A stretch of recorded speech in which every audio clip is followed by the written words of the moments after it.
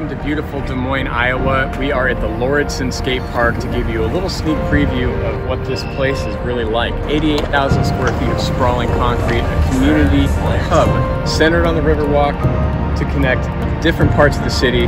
This place is absolutely amazing, and we're going to talk to a couple of stakeholders who helped make it happen. Between the co-chairs, we had more than 100 meetings. Once you kind of explain the vision, but also explain what this is going to bring to the community, um, you, start getting more yeses at that point. If you don't have this, you're, you're going to have some of the problems that have been historically associated with uh, kids trying to find a place to skate. If you want to build a skate park, always be talking about the need for it and find the right people. This is gigantic. I mean, this has really excited Des Moines. There's a lot of public art in Des Moines. Um, there's a very vibrant arts community. And so whenever we build a new community project, um, there's always an art element with it. The city sort of realizing that they have a problem. You know, skaters are all downtown. There's no place to go. Um, there used to be a law that if you were skating downtown, um, you got you would get a ticket. If you got three tickets, they would literally arrest you. And about the same time, there was this church group um, called Amos. They did a citywide survey and were shocked to find out that the number one item that popped up on the list was a skate park. And so they went to work. They got a group of young skaters together. They started organizing. They went and talked to the city. Well, considering that it took almost 18 years, there were times where we thought it was dead. I mean, the, those those kids were persistent, and Amos as an organization really stuck with it. Why don't we have a skate park? And I looked and I was like, Yeah, I don't know. Why don't we do, Why don't we do that? They said, Why can't we have that in Des Moines? I said, well, we can, but we'll have to work for it. These kids are going to be coming out of here crazy good. Design something for us that we're want to skate. This is the result.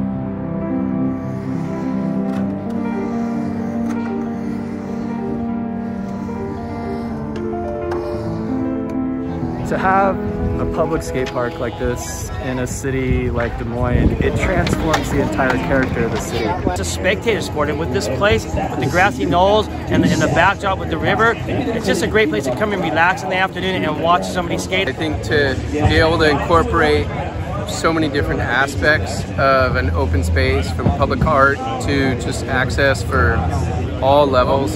I think most skate parks offer a lot more to a community than most communities realize. The whole community benefits, whether it's businesses or just people have nothing to do with skating that want to go to the skate park and hang out and watch um, to keep youth busy and activated.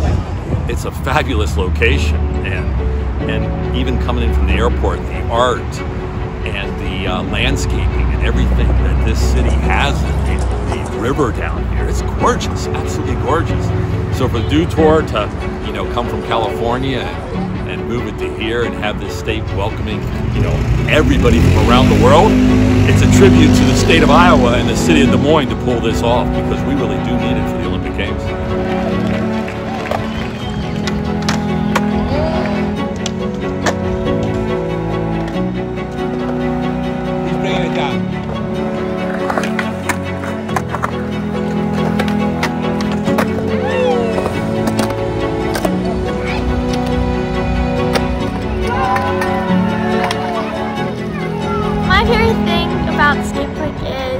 Well, there's a lot of people skating, and I feel like it's a great place to make friends and have fun. Skateboarding's been my safe space, and anytime I had things going on, this was really the only place that I'd be able to like be me officially.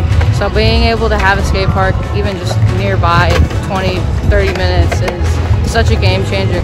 Where I'm from in Austria, the parks are always next to the cemetery. Whereas I think it's really awesome that they like put it in the middle so it's like, all right, yeah, skateboarding is a part of our culture, it's a part of our society, and we acknowledge that and we're happy about it. I wish I had one like that back home. It's one of the best skate parks I've ever seen or been to. Sectioning out like smaller stuff so that as a beginner you can come here and feel safe. I think the skate park's amazing. I mean, mean, obviously it's big enough for everybody to enjoy. For Des Moines, it's going to raise some amazing skateboarders. I mean, and that and that's the goal. You know, is a place, a safe environment where kids can skate for 12 hours a day and come here. Skate parks are so important for the community, and it's just because it's something positive that, that kids can do growing up. I mean, and, and that's the biggest thing, right? Is that skateboarding teaches you persistence, it teaches you confidence, it gives you confidence, it teaches you so many things, so many life lessons as a kid, and it's so important for communities to have skate parks like this. As a public skate park, Iowa is lucky. The city of Des Moines did it right. Uh, they put it downtown on the river. It's, it's a showcase. It's one of the most beautiful skate parks I've ever seen. What, what a skate park does for a community, it gives them a place to go, a place to ride, a place to go and express themselves and, and discover who they are.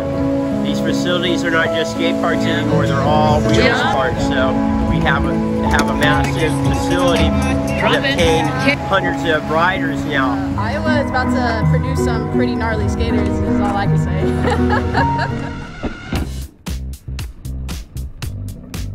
from the Midwest, you know, we don't get this caliber of skate park around here.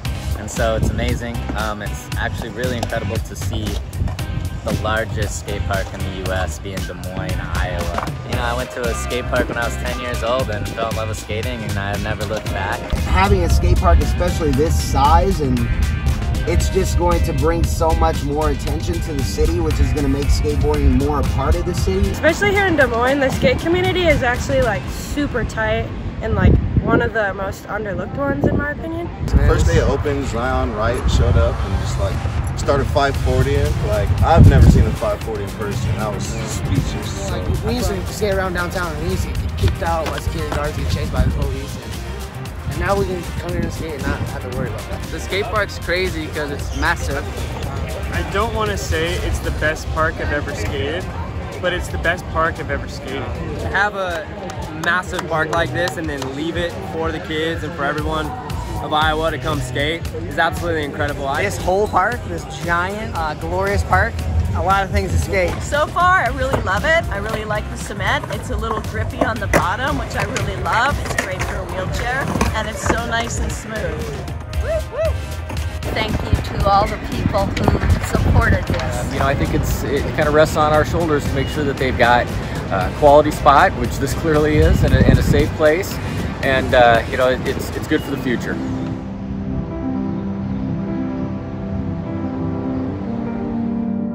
There was a kind of a dogged persistence that I noticed in skaters trying to land, you know, whatever it is that they were trying to learn. And I would say in terms of advocacy, it's the same thing. The mayor's original advice, don't give up, really held true.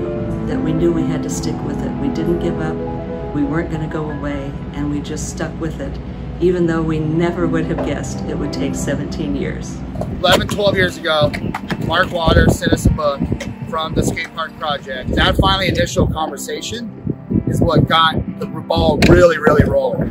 And I'd say thank you to the skate park project um, for being so helpful, just with the information. I just knew that if I had a question that I thought they could answer, I could I'd reach out and I'd get an answer, or at least go to this direction.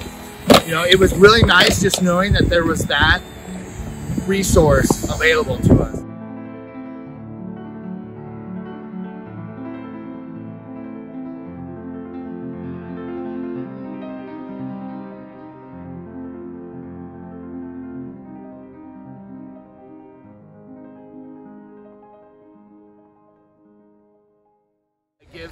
Gives them a place, a safe place. But this is where I think. I'm sorry, the kid just ate. You okay? We're gonna use that one.